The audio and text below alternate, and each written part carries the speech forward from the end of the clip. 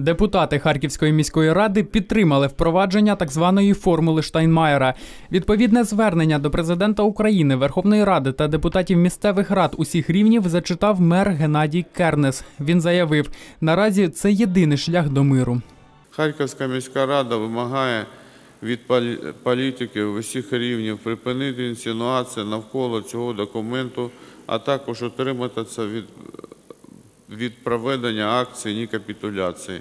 Формула Штайнмаєра не передбачає визнання анексії Криму. Ця формула не легалізує бойовиків. На підтримку теплових мереж депутати виділили додаткові кошти 90 мільйонів гривень.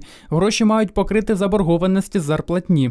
Ми кожні, кожну осінь виділяємо кошти на фінпідтримку теплових мереж. І не тільки осінь, тому що ця проблема є системною. Надавати Андрієву фіндопомогу це як носити воду у решеті.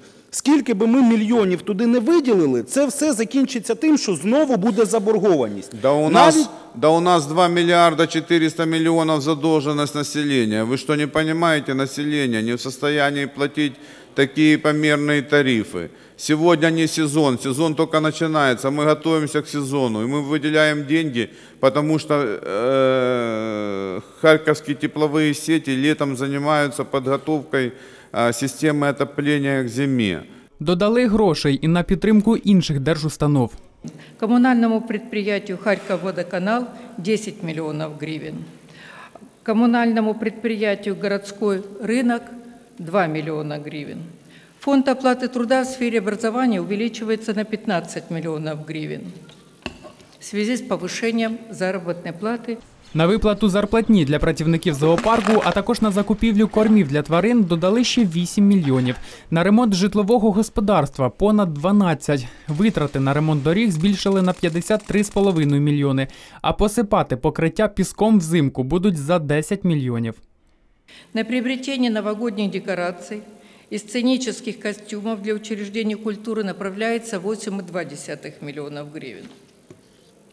Кроме того, городу Харькову выделяется субвенция на приобретение жилья внутренне перемещенным гражданам в сумме 1,7 миллиона гривен.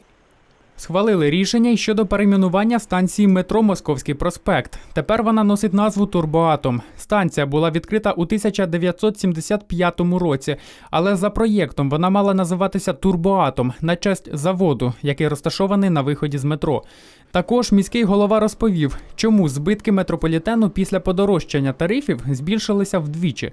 За даними антикорупціонерів, коли сума проїзду була 5 гривень, не вистачало 27 мільйонів гривень. Коли тариф підвищили, збитки перевищили 54 мільйони. Мер зазначив, все це через введення єдиного білету. Когда разрешили пополнять карточки, много пополнило карточки. Из-за этого? да Обратили на это внимание и разобрались из-за все из-за этих карточек. Сейчас уже почти установлены все валидаторы, почти уже установлены все валидаторы. Уже розданы карточки детям, школьникам, студентам розданы, ну, единый билет. Також на сесії ухвалили рішення про будівництво нової дороги через ринок Барабашово. Артем Листопад та Олександр Лагутін. Медіагрупа Об'єктив.